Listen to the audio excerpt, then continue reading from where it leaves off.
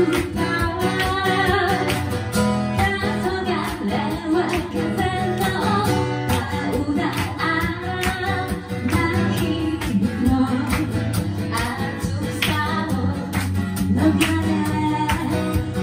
I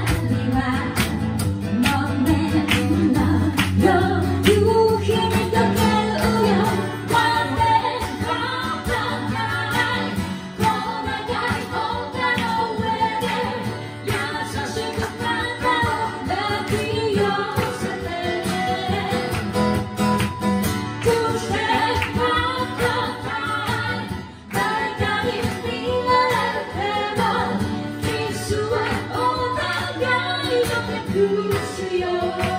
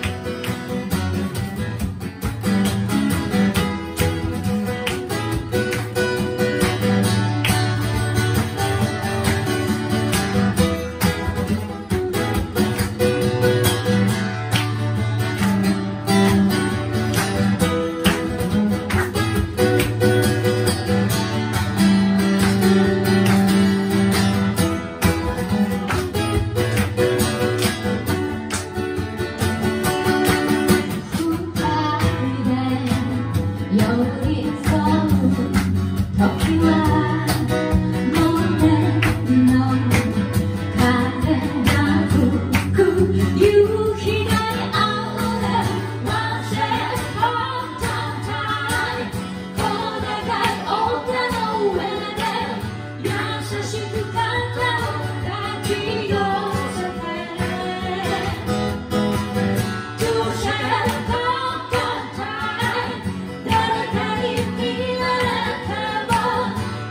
Yeshua.